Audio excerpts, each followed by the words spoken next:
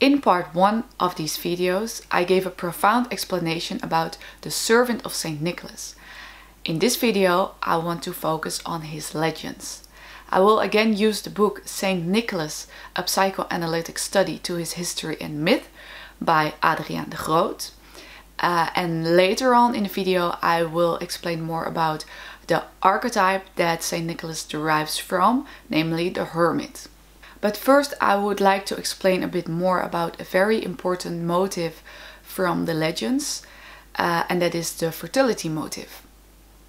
I explained you in a previous video a bit about uh, one fertility motive that we can see in the tradition right now and that is that Black Pete goes through the chimney that, that has a phallic shape and he puts the spice nuts and the gold coins that symbolize semen into the shoes of the children and the shoes symbolize the womb of the mother. But let me go back to the origins of this fertility motive. The months of November and December are very dark and cold. Nature is dying and there's a lot of wind and rain. This drives people inside the home where they can find comfort, warmth and light. Again here we can see the opposites of light and darkness. Stocks are made ready and the soil is prepared with seeds in the hope that during spring the crops will grow. This depended, the people believed, on the favor of the gods. This whole period of darkness in which the sun died and would hopefully be reborn was about fertility. The Teutons, from pagan Germany, would perform all sorts of rites and give sacrifices to give the sun its power to win the battle from the darkness. In this, they would also eat spice nuts, which is also a fertility symbol. The first legend is the legend of the three schoolboys. There were three clerical schoolboys who wandered through the woods in the middle of the night in search for a place to stay. They found an inn, and the innkeeper provided them with food and a bed. Once the boys were asleep, the innkeeper searched their pockets and found a large amount of gold coins. Prompted by his wife, he murdered the three boys and chopped them up into pieces and put them in a barrel of brine. Some time elapsed and St. Nicholas arrived at the same inn. The innkeeper rushes himself to make a meal for St. Nicholas. But then somehow St. Nicholas know what had happened to the boys and he orders the innkeeper to bring him to the barrels. There St. Nicholas raises the three boys from the death and the contrite innkeeper throws himself at St. Nicholas' feet and together they sing Te Deum Laudamus. This legend of course makes St. Nicholas the patronate of children. But let's get deeper into the symbolism of this story. First of all, there are three clerical boys. Three is a holy number, of course, for the Holy Trinity. The boys wander through the woods in the middle of the night. The woods is the unknown, is nature, but also the night is darkness, is also the unknown. The unknown is chaos. It's the mother archetype. The boys are murdered for their gold coins. As I told you in the other video, we give the children in our tradition gold coins.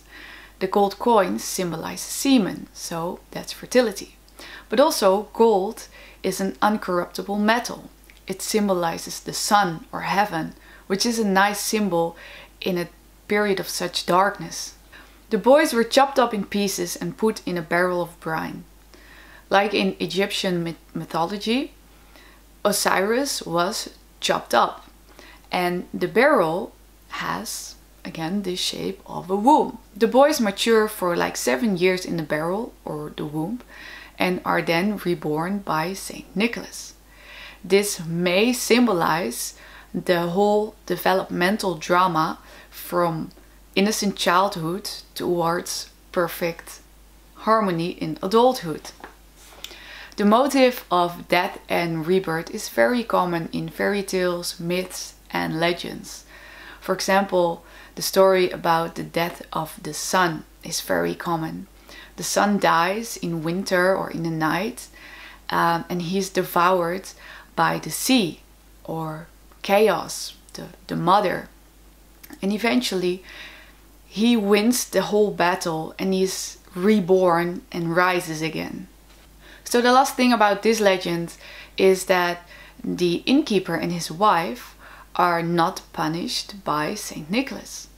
As I explained in the, the other video, Saint Nicholas doesn't exile evil, he subdues it. And that's what we see here again. So the motives from this legend are fertility, death and rebirth, the Holy Trinity, the unknown, so chaos, the woods, the night, uh, and of course subduing evil instead of exiling it. The second legend is the legend of the three virgins. A long time ago at Patara, the birthplace of St. Nicholas, lived an impoverished nobleman with his three daughters, whom he could not marry off according to their status. In order to get out of his desperate predicament, he finally considered giving his girls up to shame. But then St. Nicholas intervened, who just inherited a large fortune. On three nights in a row, St. Nicholas drops a bag full of gold coins through the window. The first bag is to alleviate them from their poverty. The second one is to marry the girls off in style. And the third one is to honor the Holy Trinity. On the third night, the father runs after his benefactor, recognizes him, and thanks him with tears in his eyes. This story makes Saint Nicholas the patronate of children, of marriageable girls, and of poor people. This legend also made Saint Nicholas the heavenly marriage broker. Fun fact the Dutch word for marriage broker is huwelijksmakelaar, but the Old Dutch word for it is heiligmaker or heiligman. But these days we call Saint Nicholas the good heiligman, and that means holy man. So the motives of this legend are fertility, since we again have gold coins and marriage results in children, so fertility, and also the Holy Trinity because of the three daughters and the three bags of gold coins. The third legend is the legend of the Jew and the untrustworthy Christian. So this story, I think it's my favorite one. Um, it is quite similar to the story of Shakespeare, the Merchant of Venice. Um, the story goes as follows. A Christian who is in need for some money takes a loan from a Jew and he swears by Saint Nicholas that on a certain day he will repay the money. But he fails to deliver the money on that day and he swears by the heavens that he doesn't have anything. Brought before the judge, he maintains this under oath after slyly giving his cane to the Jew to hold for a moment. But the Jew didn't know that the cane was filled with gold coins from the inside. They leave the court and the Jew gets nothing, and so he curses St. Nicholas. The Christian, suddenly overcome by sleep, takes a nap on the middle of the road. Over there, he is killed by some vehicles that were rushing on the streets. At the same time, the cane is broken and the coins roll out. The Jew, however, refuses to take the money as long as St. Nicholas doesn't raise the Christian from death. He has hardly spoken these words or the Christian has risen on his feet again. The Jew is so stirred by this miracle that he is converted immediately. He lets himself and his whole family be baptized to be Christian. The traffic detail in this legend is very meaningful and interesting. Traffic in general is the to and fro going from things. Can be vehicles or goods or communication or love. The Dutch word for traffic is verkeer. The Dutch word for courtship is verkering. And the Old Dutch word for having intercourse is verkeren. So Again, this is an allusion to fertility and sex. So the motives we see in this legend uh, are of course fertility, the gold coins in the cane that it has a phallic shape, the death and rebirth motive since the Christian is raised from the dead, but also the subduing of evil since the Christian isn't punished for his crimes, but he is raised from the dead. The fourth legend is the legend of the rescue of Johannes. Johannes was caught in a storm while he was crossing the Adriatic Sea to Hindrumtum, or something like that. With many others, he climbed into a lifeboat to reach the coast. But the boat capsized and Johannes cried out, Holy Nicholas, help! And he disappeared under the waves. But then St. Nicholas appeared and he put his cloak over Johannes and he brought him safe back to shore. There are a lot of legends about St. Nicholas that are similar to this one. These legends make St. Nicholas the patronate of sailors. But let's get deeper into the symbolic meaning of this story. So, first of all, we have the sea. The sea is like the woods, it's chaos, it's the unknown, it's like the mother, the, the womb. And the, the rescue from the sea by St. Nicholas is like, it's similar to birth. He rescues someone from distress and during birth the child is also rescued from distress. At the same time, the ship can symbolize the womb, so falling from the ship into the sea is like giving birth, like leaving the womb. This can be a very traumatic experience. It's a very archaic fear to lose one's hold. But just as the ship is being tossed to and fro by the sea, the mother also experiences birth pangs, which are waves of pain indeed. So you might say that surviving a shipwreck eventually is some kind of being reborn. And since Saint Nicholas is saving the people in distress, he this is eventually some kind of birth miracle. So also again fertility. So altogether we got the motives of fertility, of death and rebirth and the unknown, chaos, the sea, the mother archetype.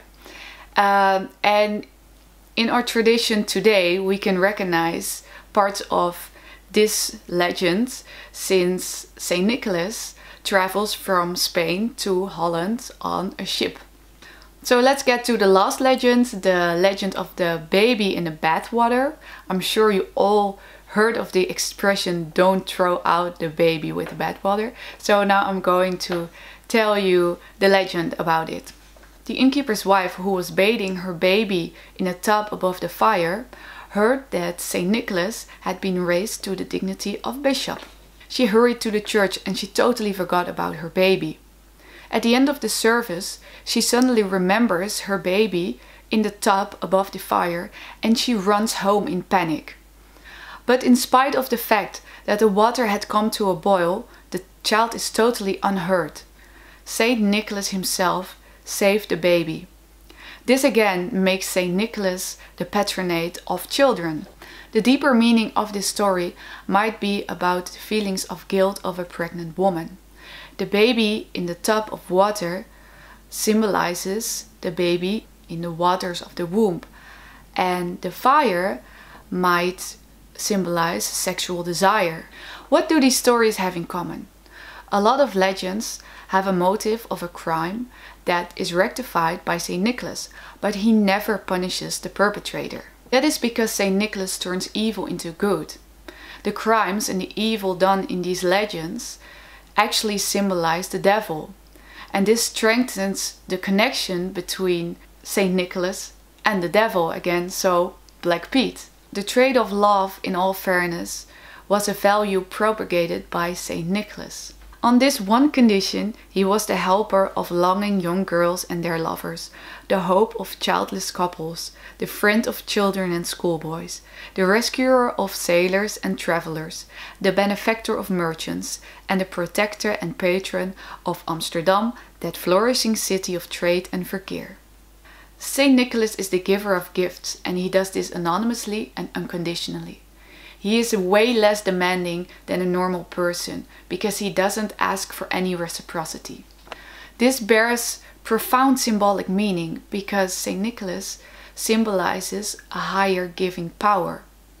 All good things that come without a price are actually generally a gift from God. This makes Saint Nicholas the heavenly bringer and also in combination with the fertility symbolism in all the stories, he is also the bringer of life.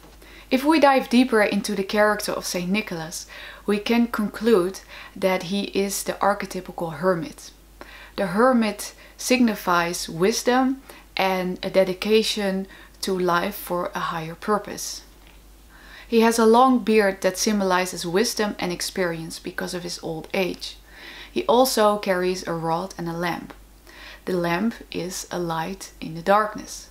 Like Saint Nicholas, himself is a light in the darkness.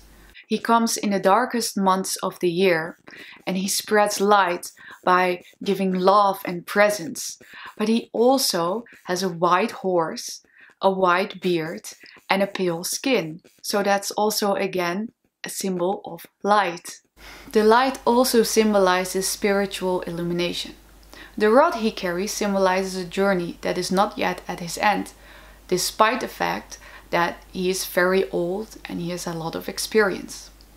But also, like I explained in the other video, the rod comes from a tree and the tree connects heaven and earth.